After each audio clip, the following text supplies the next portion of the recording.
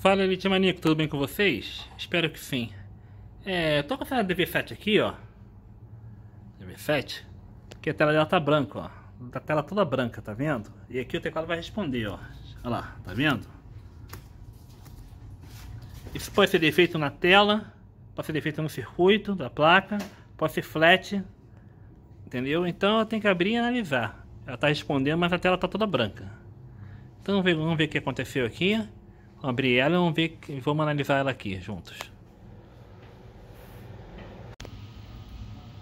Bem, gente, então, é... eu tenho 19 volts, que eu já sabia que ia ter, tá? Porque os rádios estão acendendo, que é aqui, ó. É, volt. E tem um LCD VDD, que é a alimentação também principal também do da tela de LCD. Tá com 3 volts certinho também backlight on, não precisa que a tela tá acendendo, tá toda branca. Então é o seguinte, a limitação principal tá ok, tá? Então eu vou abrir, eu tenho que abrir a tela, tá? Vou ter que abrir essa tela aqui e ver se o cabo tá mal encaixado, se é um defeito na tela, tá? Que o circuito aqui aparenta, aparentemente está bom, tá? Não acredito que tenha um defeito no, na transmissão de dados. Para mim é o flash ou a tela. Não acredito que seja outro defeito aqui não. Então vou abrir a tela e vou certificar, porque as limitações principais, que dá muita falha quando esse DVD tá, tá sem essa tensão, a tensão tá baixa. Mas como tá dando a tela, com a tela fica branca assim, entendeu? Geralmente a falha no LCD VDD. Mas como tá ok aqui, então eu vou abrir a tela e verificar se é um flat mal encaixado ou se é problema na tela. Então vamos certificar aqui e já volto já.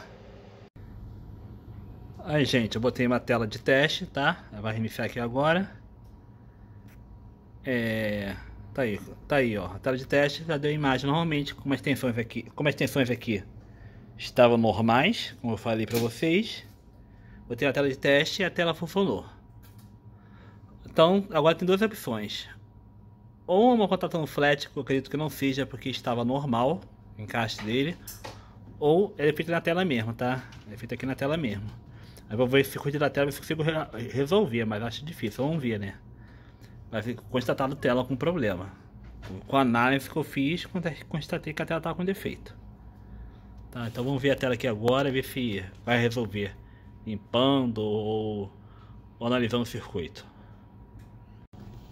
Aí, gente, botei a tela, continua branca, o defeito está na tela.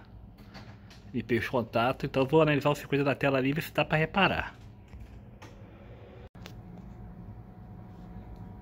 Bem, gente, o defeito realmente está na tela. Eu verifiquei a tela. Só que não tem esquema tela.